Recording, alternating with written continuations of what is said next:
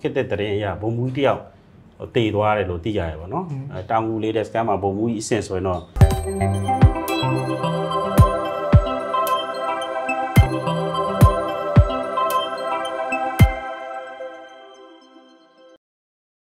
ကဲဆရာကြီးမင်္ဂလာပါမင်္ဂလာပါညီလေးဟုတ်ကဲ့အဲအခုတစ်ခါဒါကျွန်တော်တို့ဒါဝမ်းသာစရာသတင်းကောင်းပဲပေါ့နော်ဒါတောင်ငူလေတက်ကိုကျွန်တော်တို့ဒါ Rain of Fire စစ်စင်ရေးနဲ့ဒါတိုက်ခိုက်တဲ့စစ်ဖြစ်စဉ်ပေါ့နော် အဲ့တော့အခုလိုတိုက်ခိုက်တဲ့နေရာမှာ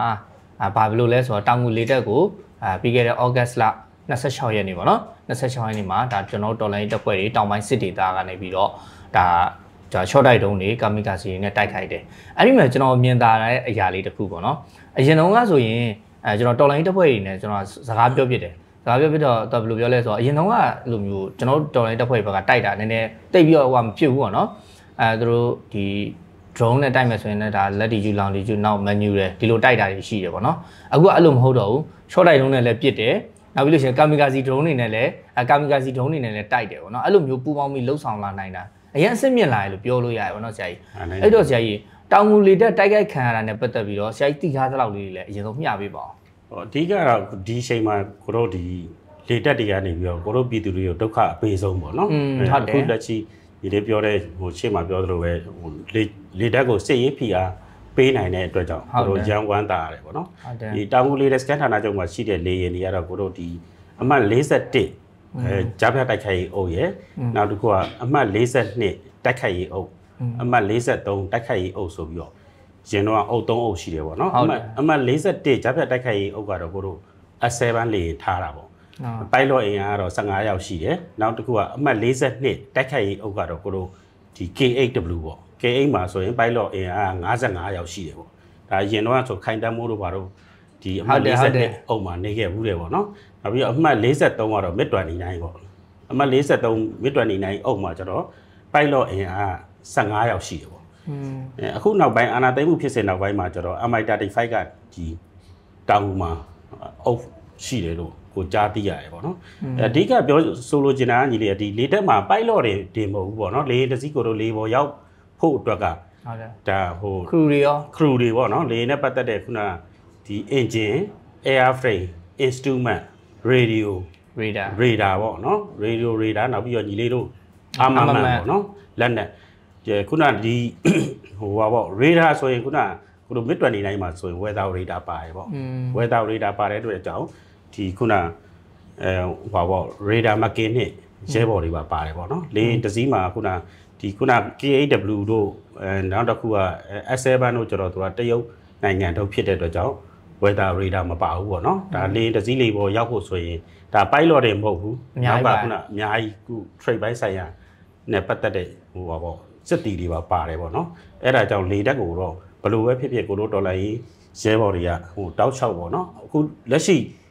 ဟိုပြည်သူနဲ့ကိုတို့ဒေါ်လာကြီးရဲဘော်တွေကိုဒုက္ခအပေးဆုံးကလည်းလေတက်ပဲဖြစ်နေတဲ့အတွက်ကြောင့်အဆက်မပြတ်လေတက်ကိုစစ်ရေးဖိအားပေးနိုင်တယ်ဆိုရင်တော့ကိုတို့ဒေါ်လာကြီးကတော့ညမကြမီအောင်မဲလို့ကိုထင်တာပေါ့နော်ညီအာဟုတ်တယ်ဆရာကြီးအဲနောက်တစ်ခုကဒါခစ်တဲ့ရဲ့သတင်းထုတ်ပြန်ချက်မှာလည်းကျွန်တော်တို့တွေ့ရတယ်ပေါ့နော်အခုလိုမျိုးဒါကျွန်တော်တော်လိုင်းတက်ဖွဲ့တွေတိုက်ခိုက်မှုကြောင့်ဘုံမှုကြီးတအူနောက်ဘူကြီးတအူတက်ချက်ကြီးတအူအပါဝင်အခြားစင်ရဲဘော်9ဦးလည်းဒါ တည်ဆုံးသွားတယ်ဆိုပြီးတော့ဒါဖော်ပြထားတွေ့ရတယ်ပေါ့နော်အဲ့ဒီတော့ကျွန်တော်တို့တွေကဘာတစ်ခုသတိထားမိလဲဆိုကျွန်တော်တို့ဒီဆရာကြီးလက်ရှိမပြောတယ်လေရင်တစည်းလေပေါ်ရောက်ဖို့အတွက်လေရင်ကတော့သူပြန်တက်သွားတာမဟုတ်ဘူးအဲကျွန်တော်တော်လိုင်းတက်ဖွဲ့တွေကအခုတိုက်သွားတဲ့အနေအထားကိုကြည့်မယ်ဆိုရင်စကစကဘလို့မှမတားဆီးနိုင်တဲ့အနေအထားကိုကျွန်တော်တို့တွေ့ရတယ်ပေါ့နော်အဲ short တိုက်တုံးဆိုလို့ရှိရင်လည်းဘာနဲ့တားမလဲရင်ဘက်ကြီးနဲ့ခံမလားဒါတွေတက်နိုင်တယ်ပေါ့နော်နောက် drone drone ဆိုလို့ရှိရင်လည်းဟိုတာမန်ကျွန်တော်ပြန်လူချင်တာမဟုတ် suicide drone တွေပေါ့နော်တခါတည်းသွားတော့ဒါရန်သူပြစ်မှတ်ပေါ့နော် အဲရန်သူတက်ကက်ထဲကိုလင်းရင်လည်းမဟုတ်တော့ဘူးဒါစက္ကစရဲ့ဒါရန်သူပြစ်မှတ်ပေါ့နော်ဒါမောင်းနေတဲ့လူတွေ crew တွေကိုပါပြစ်မှတ်ထားတိုက်ခိုက်လာတာတွေ့ရတယ်ပေါ့နော်အဲ့တော့ကျွန်တော်သွားတွေ့ရတာလေးတစ်ခုကဘာလဲဆိုတော့အဲလင်းရင်ကညဘက်ဆိုလို့ချင်းကျွန်တော်ဟန်ငါလေးထည့်ထားတယ်လင်းဟန်ငါလေးဆိုတာတော်တော်ခိုင်ခိုင်ခန့်ခန့်ရှိပါတယ်ဆရာကြီးလည်းသိတဲ့အတိုင်းအဲ့တော့တုံတောင်ဆိုလို့ရှိရင်ဒါကြိုးပဲ့တာဆိုတာတိတ်မဖြစ်နိုင်အောင်အဲ့တော့လင်းကိုမောင်းနေနေတဲ့လူတွေကိုယ်တိုင်ကိုလည်း ကိုယ်တိုင်ကလည်းဒါဒီတော်လိုင်းတက်ဖွဲ့တွေအတွက်ဒါပြစ်မှတ်တစ်ခုဖြစ်လာနိုင်တယ်နောက်တစ်ခုကဒါတော်လိုင်းတက်ဖွဲ့တွေအတွက်ဒါလေ့ကျင့်ရေးကွင်းစင်းတဲ့အနေအထားပုံစံမျိုးဖြစ်တယ်လို့ပြောလို့ရတယ်ပေါ့နော်နောက်ရဆရာကြီးကျွန်တော်နည်းနည်းထပ်ပြောလိုက်အောင်မယ်ဟိုကျွန်တော်ကြုံခဲ့ရလေးတစ်ခုပေါ့နော်အခုလက်ရှိဆိုရင်ဒါတောင်ငူလေတက်ပေါ့နော်တိုက်ခိုက်ခံရတဲ့တောင်ငူလေတက်ကကရင်ပြည်နယ်တို့ကရင်ပြည်နယ်ပြည်နယ်တို့ဒီနေရာတွေကိုအများဆုံးတိုက်ခိုက်တယ်ဆိုပြီးသိရတယ်ပေါ့နော်ဒါပေမဲ့အာနာသိမ့်ပြီးကစားအချိန်မှာကျွန်တော်ကအဲ့မိတ်တီလာရှမ်းထဲမှာရှိတယ်ပေါ့နော်ရှိရချိန်မှာတောင်ငူလေတက်ကနေပြီးတော့ကချင်ကိုသွားတိုက်တာရှိသေးတယ် အဲ့ဖြစ်စဉ်လေးတခုပြောပြအောင်ပဲအမှန်တမ်းပြောရင်ဗျာဘလို့မှမဖြစ်နိုင်အောင် rank ကဝေးရဟုတ်တယ်ရှိုင်းလေးသိပါတယ်လင်းပြန်တန်းမှုဆိုတာကတောင်ငူကနေပြီးတော့ဒါမြကြီးနားလေတက်ကိုသွားပြီးတော့မြကြီးနားလေတက်ကိုသွားပြီးတော့ဟိုအခြေချဖို့ဆိုတာနည်းနည်းဝေးတယ်ပေါ့နော်ဟုတ်တယ်အဲ့ဒီမှာကရှင်ပြည်နယ်ဘက်မှာတောင်ငူလေတက်ကတိုက်ခိုက်ချင်တော့ဘယ်လိုလုပ်လုံးဆိုတော့တောင်ငူလေတက်ကနေလေနေပြန်လာတယ်ပြန်လာပြီးတော့ဟိုဒီမိတ်ဒီလာမှာခက်တာနားတယ်စီရီပါဖြည့်အဲစားတော့ပစ္စည်းလိုတဲ့ပစ္စည်းတွေထည့်ထည့်ပြီးတော့ကရှင်အောင်ဆက်တက်တာ အဲ့လိုပုံစံမျိုးဒါစကားစားလုံနေတာလည်းရှိတယ်ပေါ့နော်အဲ့လိုမျိုးလုံနေတဲ့လာလီတက်တစ်ခုကိုဒါတိုက်ခိုက်နိုင်တယ်ဆိုတာကျွန်တော်တို့အကျိုးမြတ်တွေလည်းအများကြီးရရှိခဲ့တယ်ပေါ့နော်ဟုတ်တယ်အဲ့တော့ဆရာကြီးတောင်ငူလီတက်နဲ့ပတ်သက်ပြီးတော့ဆရာကြီးတခြားရောဗာတိထားလေးလဲနောက်ကလီတက်စကန်မှုကဘာတူဖြစ်လဲဆရာကြီးအဲအခုဟိုပါပေါ့နော်ဒီ latest scan မှုကတော့ခုနဘုံမှုကျုပ်စွမ်းနိုင်မင်းပေါ့စွမ်းနိုင်မင်းကတော့အရင်တော့တော့ကိုတို့အဲဘုံကျဲလေး A5 လေးမောင်းခဲ့တဲ့လူပေါ့နော်ရက်ပူပူနဲ့ စွမ်းနိုင်မင်းကတော့အရင်တော့ဒီစွမ်းနိုင်မင်းကဒီဒီတောင်ကူမရောက်ခင်မှာစွမ်းနိုင်မင်းရဲ့ရှေ့မှာခုနကဇော်ဝင်းထွန်းတို့ဇော်ဝင်းမြင့်တို့ရှိသေးတယ်ဌာနချုပ်မှုတွေအဲဇော်ဝင်းမြင့်ကတော့ခုနဒုတိယဗိုလ်ချုပ်ကြီးပေါ့အခုစစ်ဦးစီးရာရှိချုပ်လေဖြစ်သွားပြီပေါ့နော်ဇော်ဝင်းမြင့်ကအဲဇော်ဝင်းထွန်းကတော့အခုတောင်ပိုင်းတိုင်းဗိုလ်မှူးချုပ်ဇော်ဝင်းထွန်းကတော့တောင်ပိုင်းတိုင်းပြန်ရောက်သွားပြီအဲဇော်ဝင်းထွန်းလက်ထက်မှာဆိုရင်လည်းကိုတို့ဒီ radar operator ကဒီဟိုပါပေါ့ကိုဟိုပါပေါ့တက်ကြက်တန်းစင်တို့ဘာတို့ကနေပြီးတော့တောင်ငူလေတက်ကနေပြီးတော့တနက်လက်လက်နဲ့ ခုနကိုတို့တော်လိုင်းရေးပဲပူပေါင်းပြီးတော့ CDN လောက်လာတာပေါ့အဲခုနကဲမှုရဲ့တနက်ကိုယူလာပြီးတော့ကဲမှုကထောင်းနေပါတယ်ကြာသွားပေါ့ဒီစွမ်းနိုင်မင်းကတော့ခုနဒီကိုတို့တောင်ငူလေးတဲ့စကန်ဌာနကြုံမှုမလုပ်ခင်နေပြီးတော့မှသူကဟိုပါပေါ့တက်ဆွဲမှုလုပ်ခဲ့တည်းပေါ့ဘုံမူကြီးဘွားနဲ့တက်ဆွဲမှုလုပ်လို့သူကတော့ခုနတော့နည်းနည်းဖွန်ကြောင်တာပေါ့ဖွန်ကြောင်တာဆိုတာဆိုတာဒီစွမ်းနိုင်မင်းရဲ့အရက်က9ပေ2လက်မလောက်ပဲရှိတယ်9ပေ2လက်မလောက်ပဲရှိတယ်ခုနသူဖွန်ကြောင်တဲ့ ဘိုးကြီးပေါ့နော်ဘိုးကြီးကေတီအောင်ဆိုတာကိုတို့ ATS 72ပါပေါ့အဲ့ပိုက်လော့ကောင်မလေးကကျတော့ရက်က9ပေဟိုခုနှစ်လက်မနည်းနည်းစွန်းတာပေါ့ကြော်တာပေါ့ဟိုပိုက်လော့ကောင်မလေးကသူ့မှာရီးစားရှိတယ်ဟိုတရားဦးမှာသူ့ဘေးကလည်းဘိုးကြီးအဆင့်ပဲအဲအဲ့ကောင်မလေးကိုတွားတွားပြီးစွမ်းလိုက်မြန်တွားကြောင်တာကြောင်ပြီးတော့တပ်ပုံတွေပါရိုက်ပေါ့ဒီကောင်မလေးကိုပြက်ကလေးထုတ်ရှင်တာနေပြီးတော့တက်ဆွဲရဲ့အေလာတက်ဆွဲရဲ့ပြက်ကလေးထုတ်ရှင်တော့ ဒီဟိုဓာတ်ပုံဆရာလေထဲမှာဓာတ်ပုံဆရာဆိုတာရှိတယ်ကြီးလေးကဓာတ်ပုံဆရာတော့သူကဓာတ်ပုံဌာနရှိတယ်ဓာတ်ပုံဌာနဟိုဓာတ်ပုံဆရာတော်မရိုက်ခိုင်းမနဲ့ခုသူ့ကိုယ်တိုင်သွားသွားပြီးကြိုက်တာမျိုးလေးပေါ့နောက်တစ်ခုကခုနစွမ်းနိုင်မြန်အကြောင်းမရှိအကြောင်းချပြီးတော့ခုန ADR အုပ်ကိုတနေ့ကိုနှစ်ခေါက်သုံးခေါက်လောက်သွားသွားပြီးတော့ဗောလေဟိုဒါဖွန်ကြောင်လို့ပြောလို့ရရပေါ့စွမ်းနိုင်မြန်ကတော့အခုလက်ရှိဒါစွမ်းနိုင်မြန်လက်ထက်မှာဆိုရင်ပဲအပြစ်ခံရတာကိုတို့နှစ်ခေါက်သုံးခေါက်မကတာပေါ့နော်ပြစ်ခံရတာ ပြီးခဲ့တဲ့ဒါဩဂတ်လ20ရက်နေ့ကလည်းတစ်ချိန်ပေါ့နော်အဲတုန်းကဆိုလို့ရှိရင်လည်းဒါခုနှလုံးပြစ်တာလေးလုံးပဲမှန်သွားတယ်ခုနှလုံးလုံးမှန်ဘယ်လောက်တောင်ထိခိုက်များမလဲပေါ့နော်အဲအခုဒီချိန်ဆိုလို့ရှိရင်လည်းဒါဩဂတ်လ26ရက်နေ့မှာဆိုရင်ဒါ drone တွေအပါဝင်ကိုအဲနောက်ထပ်ဒါ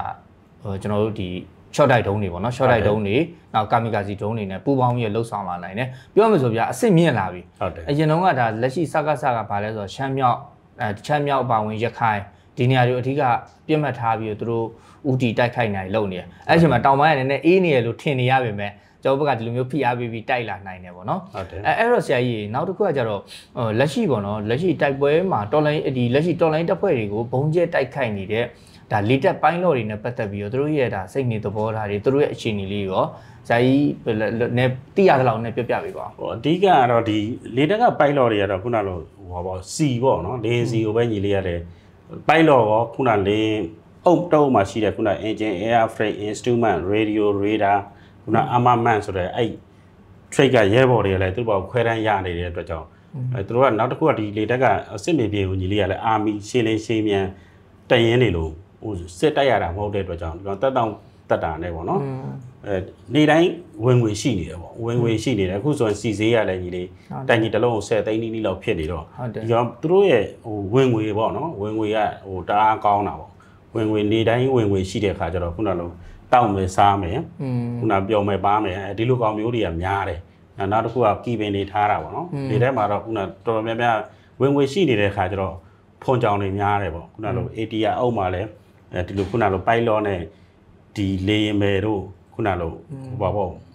ပိုက်လော့အမျိုးသမီးတွေနဲ့အဲ့လိုညှိစွန်းတာတွေအများကြီးပဲလေလေတက်မှာတည်းကအရှုပ်ကြီးခုနလိုအဲအများသောအားဖြင့်တော့ခုနဒဒီ ATR တို့ဘာလို့ဆိုတော့နိုင်ငံခြားခရီးစဉ်တွေဘာတွေတွားရတယ်နောက်တစ်ခုက Y8 oh sorry အဲခုန Focus 70ပေါ့ Focus 70အုပ်တွေပါလေဆိုတာလဲဒါ jet engine ဖြစ်တဲ့အတွက်ကြောင့်ဝင်ငွေကောင်းတယ်ပေါ့ဝင်ငွေကောင်းတဲ့အတွက်ကြောင့်ဒီအုပ်မှုတွေပေါ့ခုနရင်အဲ Focus 70အုပ်မှုဘုံမှုကြော်စုံမှုတို့ဘာလို့ဆိုလဲဒါ လေရင်ပိုင်လောမိုင်းနဲ့ညှိညှိတာတွေပါဆွမ်းတာတွေဖြစ်တော့သူ့အမျိုးသမီးတွေနဲ့အဲ့လိုစကားမျိုးဟိုများတာတွေပါလေအဲ့ဒါမျိုးတွေကြုံခဲ့ဘူးတာပေါ့များသောအားဖြင့်တော့ဒီပတ်စံဝင်နေတဲ့အတွက်ကြောင့်ခုနလိုဒီဟိုပါပေါ့အမျိုးသမီးကိစ္စတွေမှာလေတက်ကတော်တော်များချုပ်တာပေါ့အဲ့ဒါမျိုးတွေရှိတယ်နောက်တစ်ခုကအခုတေသွားတဲ့ဟိုတရင်အရာဆိုရင်တော့ခစ်တဲ့တရင်အရာဘုံမူတယောက်